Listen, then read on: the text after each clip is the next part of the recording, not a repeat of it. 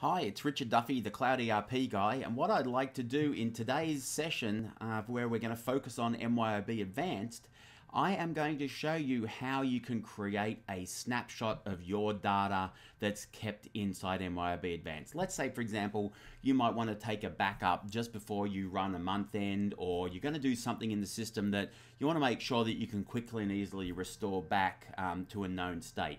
This is where the snapshots can be very, very helpful. What you might also want to do uh, is you might want to grab a copy of that data just so you can say, look, I've got a copy of the data and it's held off-site. So of course, with MYOB Advanced, it is all maintained for you by MYOB. So they're doing those backups and uh, and making sure that the disaster recovery uh, is all in place.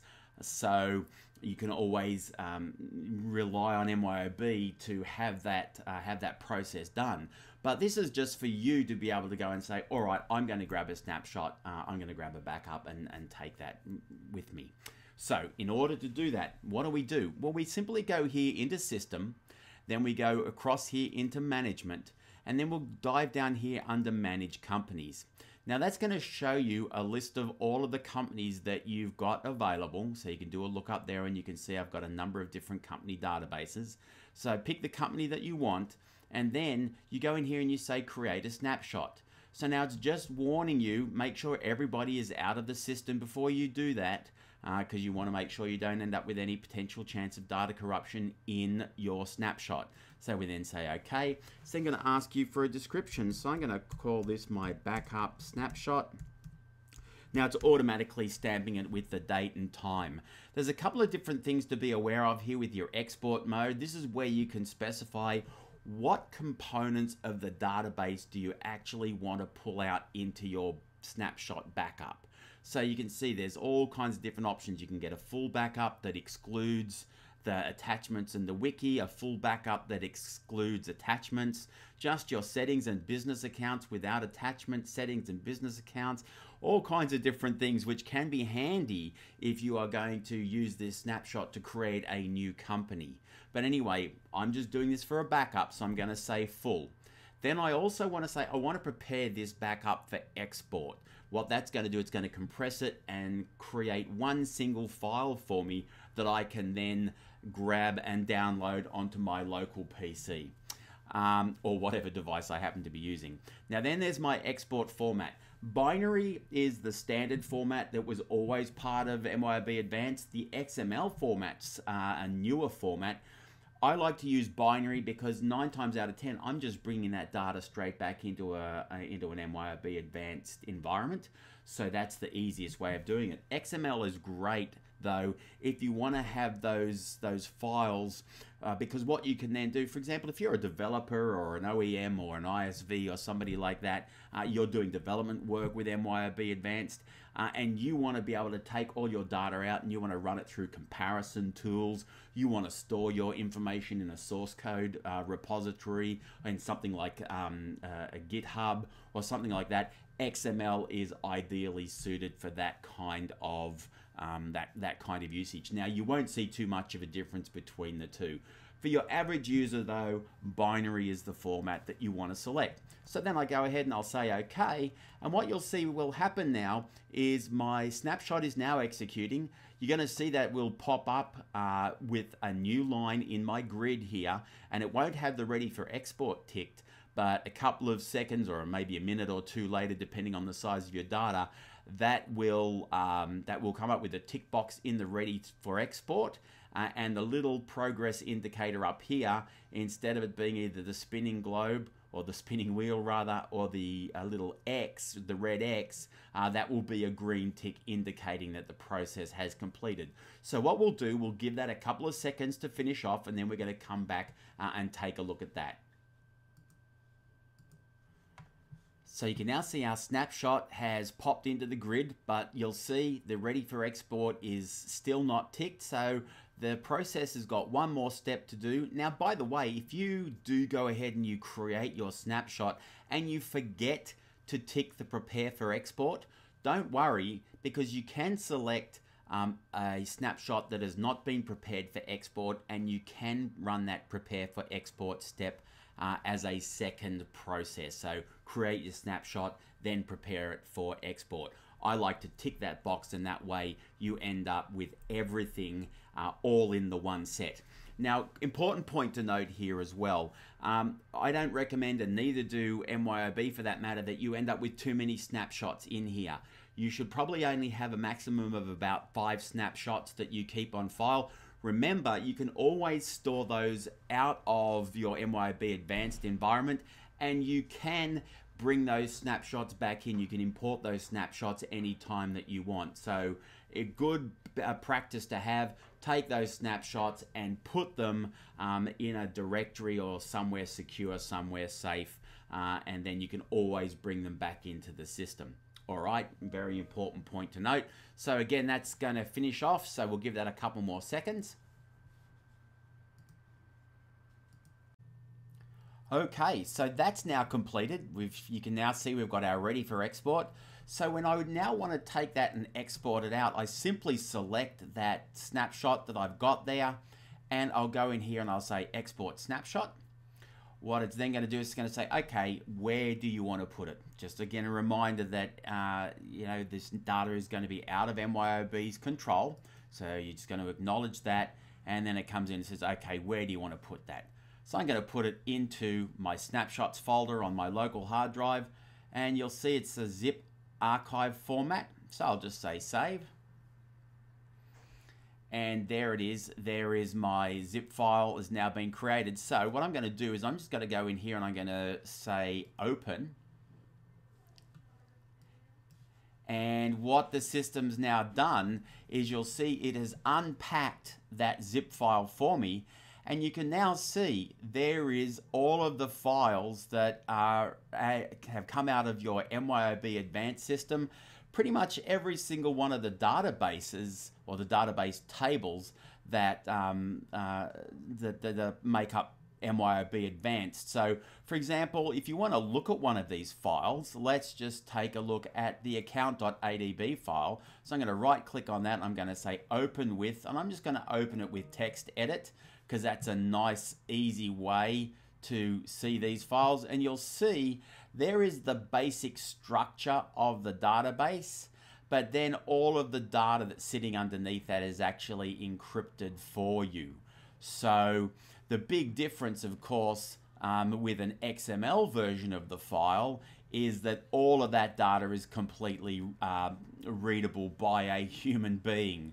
So um, that is, again, one of those differences. So for example, why don't we go ahead and we'll do that right now. I'm going to go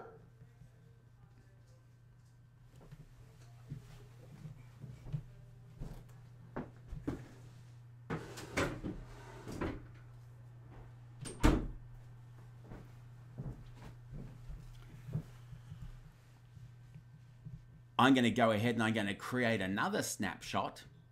So we'll go in here and say create a snapshot, exactly the same process, except this time I'll call this an XML data backup.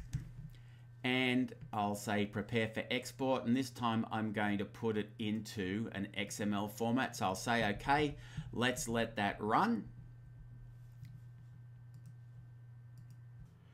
So now we've got our XML data backup is completed. You can see it's ready for export. So I'm going to export my snapshot. Just click on OK there again. It's going to ask me where do you want to put that data file. Put it in the same location. So I'll say save.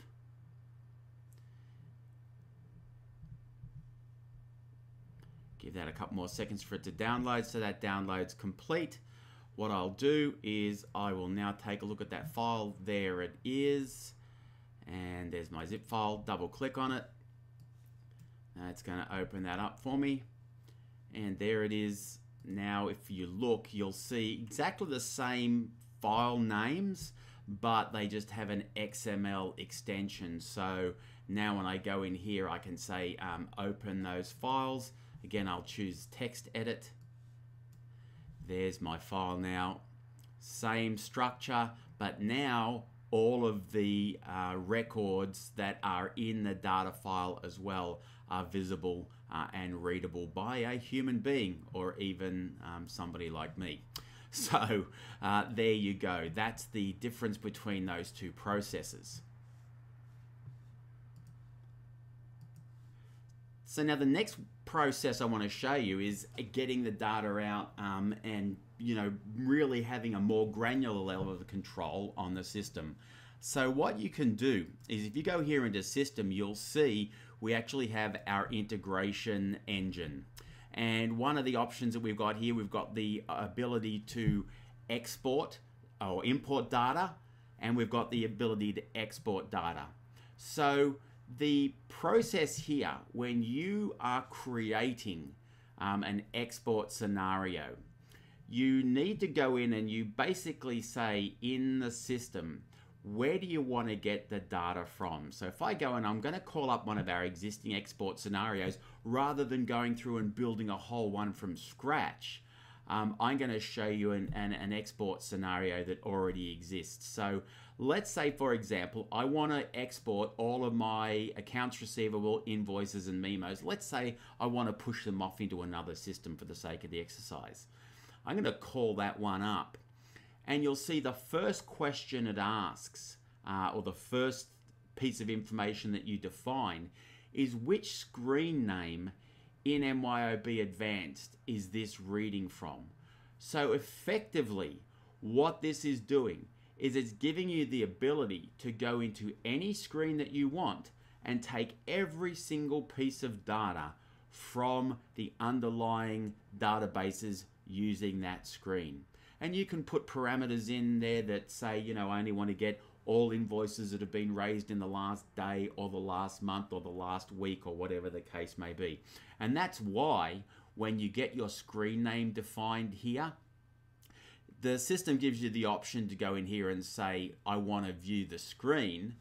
And what it then does is it will actually show you the underlying screen and you can see all of the fields that are there uh, in that screen. And of course, you're able to go in here into customization as well, and you can choose inspect element. And if you ever want to be sure or understand whereabouts in the underlying data does that information come from, you can use the mouse pointer, which has now become a question mark. You can go to the particular field. So let's say, for example, I'm looking at my customer code field here and I'm thinking, wonder what that is. Where does that data come from? I can now click on that field and you'll see it shows me the control dot, the control type, um, what the data class is, and in remember in MYOB Advanced, the data class is basically the the underlying table. All right, so this is the AR invoice. The data field in that data class is the customer ID. And then what you can do, you can see here under your actions, you can view the ASP um, source code for this screen. You can view the business logic source code and you can go in and you can view the data class source code.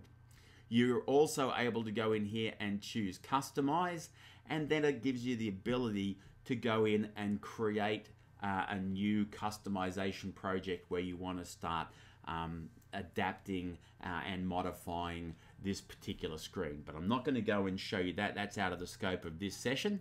Um, but there it is. That's, uh, that's how you have another mechanism for getting that data out of the system. So I've got that export scenario and then I can go in here and I can process that export scenario. So I go up here into export by scenario and I find the one that I've got which is exporting my invoices and memos. So I'll select that.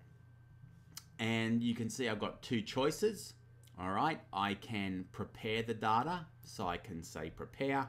What it's now doing is it's running that underlying uh, export scenario and it's creating the data set in the format that I've specified. Now, depending on the amount of data you've got in the system, any parameters that you've put on it, how long it's going to take, um, or that will determine how long it's going to take for this process to run. We'll give that a few more seconds, uh, and then you'll see this table will get populated. Now, just a side note while that's running, you also have the ability to go here into the history tab and each time you go and run this export, you're going to get uh, the details of that export here. So you're going to be able to see each time that you've run that. And because this is creating a file, the other thing that it's going to do when I tell the system that I want to export it, you'll see up here in MYOB Advanced, we have this ability to, um, you know, to, to see the files that are attached. When I run that export, it's going to create a new uh, version of the, uh, the, the export file here, and I can click in here and, and view that file. So we'll give that a couple more seconds to run.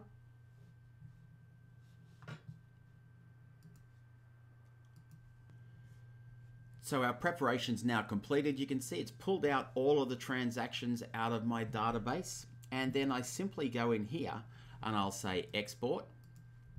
And now it's running my export process. And as it goes through and it runs through each of those transactions, as each transaction gets exported out, you can see we've got 7,263 of them. Uh, as each one of those gets pumped out, it gets this process tick uh, pushed against it. So that's now completed. You see our operations completed. And if I go here to history, you'll now see that I did my preparation um, and I did my process. And then if I go up here and look at my files, you'll see here is the file itself. I can click here on edit and then call up the document management functionality in MYOB Advanced and you'll see each time I've created that file um, there will be a version ID here and I'm able to select each different one of those versions. Alright, so I can go, I've got that version there and then I can get the latest version and what does it now do? It now downloads that file for me in the format that I've specified. Now, with this particular file, I specified that I want it to be created as an XML file. So that's why you're seeing that it's going to save that as XML. But when I define my export by scenario, this is where I have the ability to specify what kind of um, file am I going to have it created as. And the, per, the, the way that we do that is we use these data providers. Let's go back, look at our export scenario again and you'll see I'm using this data provider which I, has been created called invoices and memos so if I look at this data provider option here and I call up that particular file and we'll go to our next screen invoices and memos. It's going to be here in a second. We've got quite a few. There it is invoices and memos. And you'll see our provider type is the Excel provider. And I can see this is what the file is going to look like. There's the schema, there's all of the files, all the fields in the file. And if I go back here to my first screen, you'll see these are all the different provider types that I can choose from. CSV files, Excel files, SQL Server files, uh, and so on and so forth. So there's a whole range of those different files that are available. Plus, utilizing the MYOB Advanced Framework, you can even write your own data provider files. So if you're trying to export to a specific uh, external system, if one of these existing file formats doesn't work for you, you, you can programmatically create your own. So that's a couple of the different ways that you can get the data out of MYOB Advanced. Again, remember, if you're watching this um, and you're more familiar with Acumatica, the same process works with both because remember, both MYOB Advanced and Acumatica are built off the same fundamental code base. So there you have it. Uh, if you've got any questions, any feedback, feel free to leave me a comment or drop me a line. You can reach me at richard at richardduffy.com. Thanks.